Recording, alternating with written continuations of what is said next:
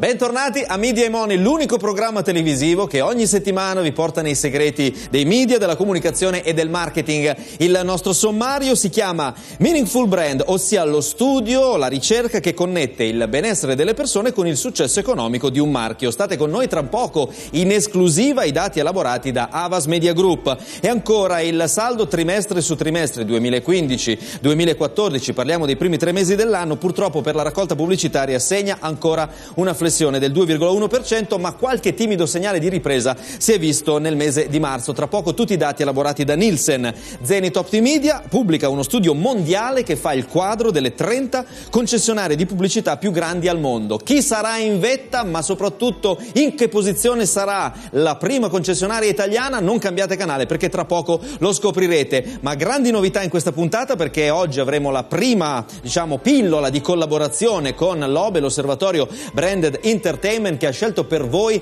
tre uh, attacchi d'arte, tre uh, brand content da seguire insieme nella seconda parte. Intanto vi presento però il nostro ospite. Alla mia destra Guido Surci di Avas Media Group di cui è Chief Strategy and Innovation Officer. Ben arrivato. Grazie mille. Grazie mille. Allora Guido, eh, siete un grande gruppo, mm-hmm. mm, poi abbiamo anche dei cartelli che possiamo mettere in onda mentre Guido eh, ce lo racconta, però voglio cercare mm, in modo sintetico però di raccontare chi siete. Voi siete tante cose, è una grandissima azienda che insieme fornisce che cosa al cliente finale? Allora, noi per i nostri clienti ci occupiamo dell'implementazione delle loro campagne. Noi sostanzialmente facciamo tutto quello che segue la fase più prettamente creativa. Ci occupiamo di strategia, ci occupiamo di analisi del loro consumatore, ci occupiamo di definire quali sono i modi migliori per raggiungere questo consumatore, ci occupiamo di spendere i loro soldi. Difatti il mestiere di eh, Havas Media Group è anche quello di gestire i budget, ottimizzare gli investimenti e far sì che la marca raggiunga i suoi eh, risultati di business eh, perché alla fine la comunicazione serve a quello, serve a vendere. Certo, allora guardate un po', fa parte del gruppo Avas che è il sesto gruppo di comunicazione al mondo, è l'agenzia di media e comunicazione del gruppo, pensate che dal 99 ad oggi ha portato la sua presenza nel mondo da 10 ad oltre 120 mercati, quindi una crescita super esponenziale. Eh, è composta dalle agenzie Avas Media e Arena e Avas Sport and Entertainment, in Italia sono impiegate eh, 118 risorse con una crescita, pensate, questi sono dati 2014 del 31% sul 2013, ma abbiamo un altro cartello che è ancora più impressionante che è in qualche modo dai dati di bilancio. Voi non fornite un dato eh, complessivo di fatturato, ma pensate che l'amministrato è stato di 330 milioni di euro, numeri impressionanti, più 43, più 30 di ricavi, più 70 per... ma che avete fatto? È stato un anno veramente eroico eroico, abbiamo, devo dire, non era iniziato così bene, ma poi abbiamo ingranato una fantastica marcia, abbiamo iniziato a crescere, abbiamo iniziato a vincere nuovi clienti, abbiamo trovato un, un, una quadra tra team, competenze, offerte al mercato che effettivamente ci ha portato ad essere un'agenzia dove penso che la cosa più bella che lì eh, non c'è scritto, ogni mese assumiamo qualcuno, ogni mese arriva qualcuno nelle ultime settimane ci siamo litigati e le ultime scrivanie del tavolo, i prossimi assunti stanno poveretti in piedi, quindi stiamo cercando i nuovi uffici. Eh, nuovo, la ricerca del nuovo ufficio è uno, una caratteristica del nostro DNA. Ogni anno e mezzo, due, dobbiamo trasferirci perché non ci stiamo più nei nostri vecchi uffici. Quando questi sono i problemi di cui si tratta in board, devo dire il clima è, è, proprio bello. Beh, senti, completamente fuori scaletta, ma non posso non chiedertelo perché stiamo attraversando eh, momenti difficili anche per il mercato del lavoro, sebbene qualche segnale positivo stia arrivando. Eh, nella primissima puntata avevamo parlato di professionalità. Oggi eh, le aziende come le vostre che tipo di professionisti cercano?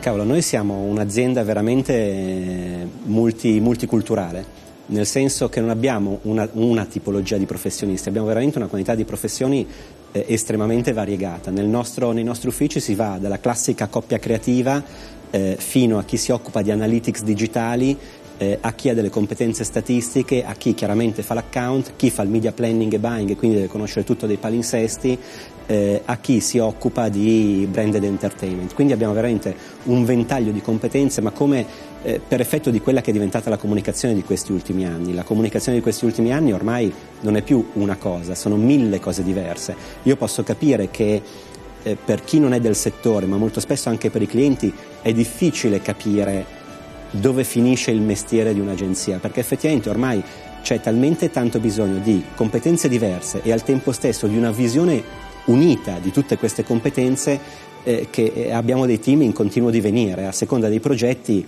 prendiamo il creativo, no, non prendiamo il creativo, prendiamo il planner, no, prendiamo quello che si occupa line, del vecchio below the line, no, ci serve qualcuno dell'analytics, adesso stiamo cercando un esperto di database di grandi dimensioni. Ecco, abbiamo... ecco, bravissimo, io infatti lì volevo arrivare, mentre vediamo delle immagini molto suggestive le lasciamo nel video wall. Queste professioni di cui tu stavi parlando già solo dieci anni fa non esistevano, comunque non erano così ehm, ricercate.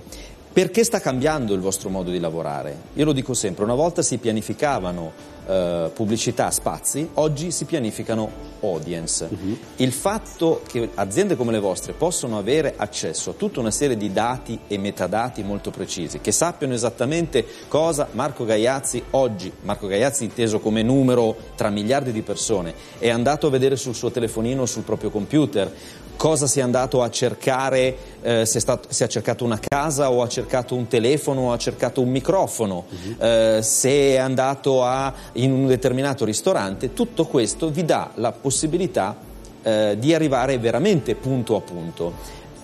Questa è forse la vera sfida Cavolo. per voi. Allora, innanzitutto ti correggo subito, non è dieci anni fa, è 18 mesi fa. Stiamo parlando di trend che sono partiti ad una velocità impressionante in mesi. Eh, la tecnologia, le normative, il pensiero della comunicazione e del marketing negli ultimi 18 mesi ha avuto una rivoluzione decisamente profonda. Profonda perché ormai tutto, almeno il nostro modo di vedere, è tutto ruota attorno a data and content e quanto io riesco a far parlare i dati che possiedo, che tutti possiedono relativamente ai consumatori e i contenuti che ho a disposizione. Nel senso che eh, la, l'abbondanza del dato e la possibilità di utilizzare delle tecnologie di elaborazione così sofisticate ci permette di conoscere dei dettagli che prima rimanevano annegati in una marea di informazioni sul consumatore che non erano utilizzabili. Io da questi dati posso imparare e una volta che ho imparato devo essere così bravo da far combaciare tutti i contenuti che ho, che possono essere campagne pubblicitarie, informazioni di prodotto, eh, un post fatto da qualche blogger, con le persone per le quali quelle informazioni sono rilevanti. Eh, posso far combaciare le giuste creatività, lo, posso far cambiare lo scatto, uno scatto con un uomo, uno scatto con una donna, uno scatto di un uomo con la valigetta del lavoro, uno scatto di qualcuno sulla spiaggia in vacanza. Magari il messaggio della campagna è lo stesso, ma io posso modificare i contenuti e la grafica di questa campagna in funzione di quello che io so di quel consumatore. Non c'è però un po' la paura da parte di molti, io in qualche modo mi ci posso anche mettere dentro, così almeno non faccio quello che sta fuori dal gioco, che questo sia un po' fastidioso. Cioè, eh, mi è capitato recentemente per implementare per questo programma una, una telecamera eh, con un certo tipo di microfono che mi serviva per adattarlo ad un'altra marca, eccetera. Tempo zero sulla mia pagina Facebook sono comparsi migliaia di proposte, di offerte di, di, microfoni da tutto il mondo e questa cosa un po' mi ha disturbato in qualche modo. Allora, è assolutamente vero, ormai eh, abbiamo un, un cammino tecnologico che ci permette di fare delle cose che di certo danno fastidio al consumatore. Al tempo stesso ci sono delle altre cose che invece possono essere eh, interessanti per il consumatore. A me quando che costruisce eh, su quello che ho comprato, dandomi delle indicazioni su altre cose che potrebbero interessarmi, devo, devo, essere sincero, trovo un servizio utile. In altri casi certi comportamenti possono essere fastidiosi. Quindi eh, sta alle marche, sta ai responsabili della comunicazione, del marketing, trovare quel bilanciamento giusto tra sfruttare la potenza del dato e non andare ad urtare le, le, le suscettibilità e, e, le sensibilità. E forse anche quello che si chiama native advertising, cioè riuscire a fare in modo che il contenuto eh, pubblicitario sia inserito in un contenuto che non sì. diventi quasi...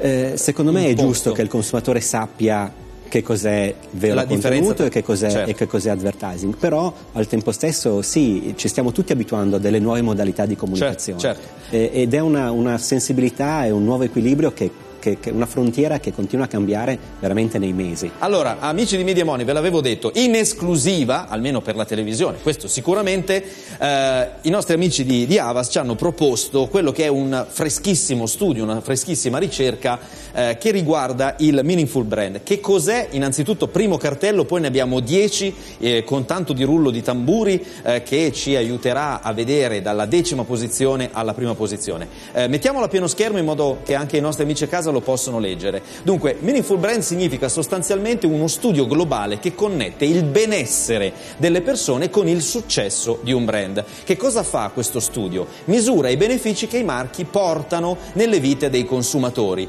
ed è importante perché sono oltre mille i brand analizzati, 300.000 gli intervistati, 34 paesi monitorali. Allora, guardate un po', dal numero 10 al numero 1, questa è la classifica dei top brand. Al numero 10 abbiamo Conad, poi al numero 9 Dove, numero 8 eh, Procter Gamble, quindi settore farmaceutico, poi ancora Collistar al settimo posto, poi abbiamo il sesto Findus, posto invece numero 5, tutti molto conosciuti, Kinder Ferrero, andiamo al posto 4, tra poco arriviamo ai numeri 3, Barilla al quarto posto, terzo posto Samsung, quindi tecnologia, Mulino Bianco fermi, pensate un po' a quale potrebbe essere secondo voi il numero 1, ebbene è, vai, Ikea.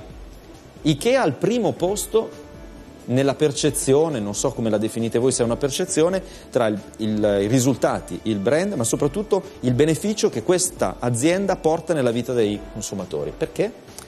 Allora, innanzitutto eh, l'esempio è semplicissimo. Eh, se io devo comprare un mobiletto del bagno, lo compro da Ikea, quando torno a casa dico a tutti ho comprato un mobiletto da Ikea. In qualsiasi altro, qualsiasi altro mobiletto del bagno io avessi comprato anche identico, perfettamente identico, Nessuno lo dice, ho comprato un mobiletto del bagno, eh, che è diverso dal mobiletto del bagno di Ikea. Perché, perché è così diverso? È così diverso perché Ikea, attorno ad un prodotto che è ineccepibile in termini di bilanciamento, qualità del prodotto e, e, e prezzo, ha vestito questa, questo, questo, prodotto eh, di una serie di benefici personali e collettivi che mi rendono quel, quel prodotto diverso. Nonostante vado... che costringa il marito o il fidanzato a montare qualcosa tutto il fine settimana? Ma forse anche quello è, è, è parte della soddisfazione, una gran, una gran sconciatura quando bisogna farlo, ma poi, cavolo, l'ho montato io. Eh, cioè, cioè fa parte, eh sì, ho passato come sempre le brutte esperienze, poi quando sono finite resta, resta sempre qualcosa di positivo.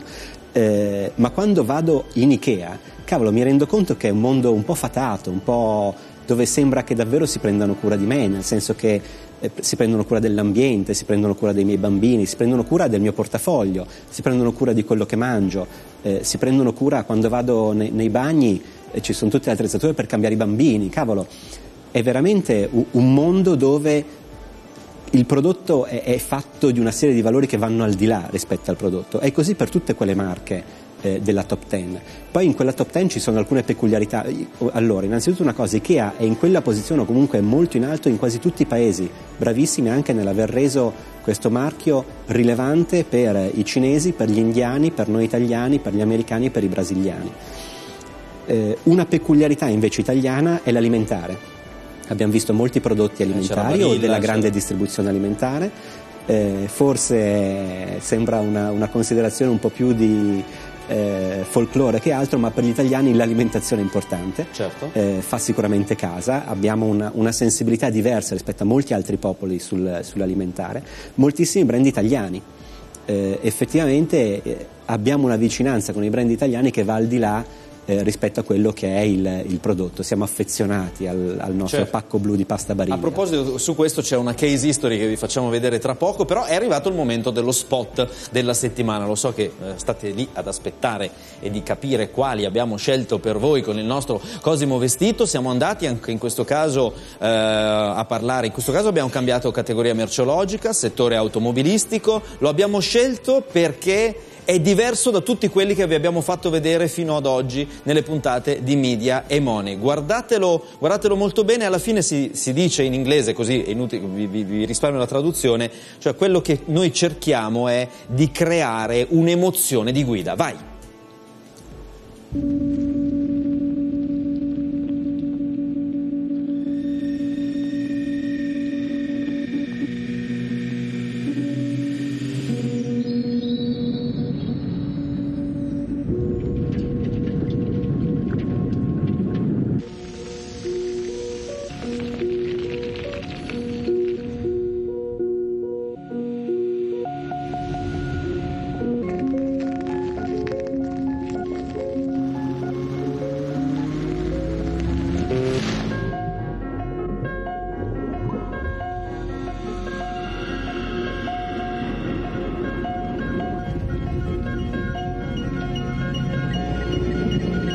Some say the most powerful thing you can build is a feeling.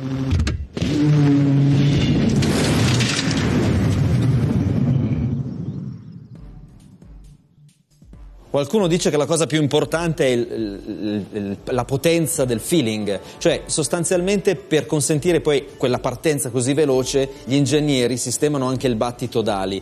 È una tecnologia fra l'altro anche di super slow motion incredibile, è un buon prodotto, è un, bella, un bello spot. Sì, molto, molto, orientale nella percezione di come il lavoro di Cesello, della tecnologia la tecnologia sia fatta di un lavoro di infinita attenzione. Eh, questo io lo associo molto cultura, ad una certa cultura orientale, sicuramente giapponese, ma anche di altri operatori asiatici che stanno venendo alla ribalta in questi ultimi anni. Bene, allora ci dobbiamo fermare per una brevissima pausa, ma poi con il tuo aiuto, Guido, dobbiamo anche cercare di capire come un, il mondo dei centri media che in qualche modo si prendono eh, sulle spalle dei budget importanti di grandi aziende poi distribuiscono sui diversi mezzi eh, la comunicazione. È chiaro che sulla base di quello che abbiamo detto fino a qualche istante fa il perimetro è cambiato, sono cambiate le modalità, eh, si sta spostando molto sul digital, sul mobile, anche se è stato detto più volte in questa trasmissione i media tradizionali sono ancora importanti, per esempio si è detto che i giornali sono ancora i giornali quotidiani periodici sono ancora molto importanti, quantomeno, eh, diceva un ospite, per creare un bisogno, per creare una situazione. Poi magari quella situazione la si spiega meglio e si raggiunge meglio il target finale con altri strumenti. Ne parliamo tra poco, ma soprattutto state con noi perché abbiamo appunto l'Osservatorio Branded Entertainment insieme al suo direttore generale che ci racconta i tre progetti di branded content più importanti del mese passato e del mese di aprile. State con noi.